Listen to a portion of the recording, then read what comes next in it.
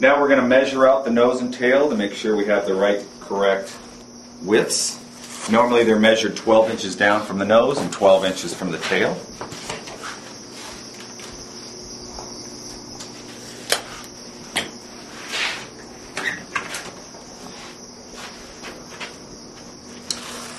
This particular customer wanted 18 and 3 quarters in the nose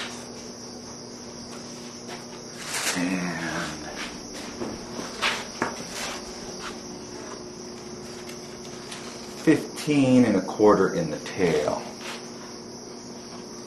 So we want to get that correct. Straighten out our tail line.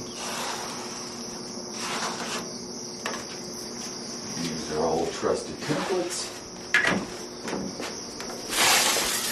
to redraw the nose.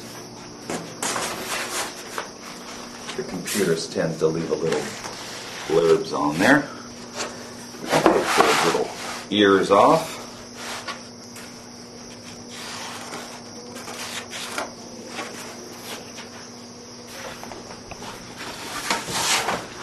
Grab our tail template here. Oh, careful there.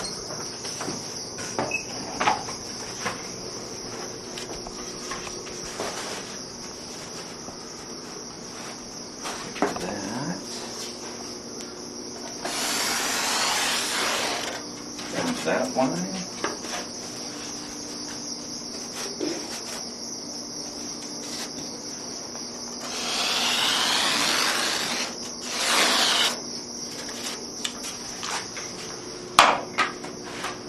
And that's that. Now we'll take our Surform and clean up the outline.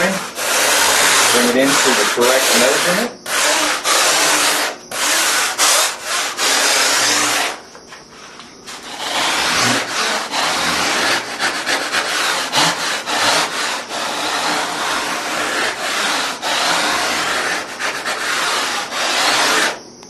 Same with the nose.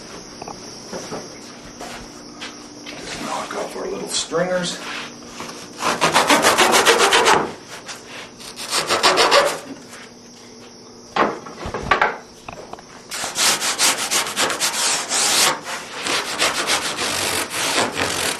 You can see how easy it is to shape this rigid polyurethane foam. Much easier than wood or styrofoam.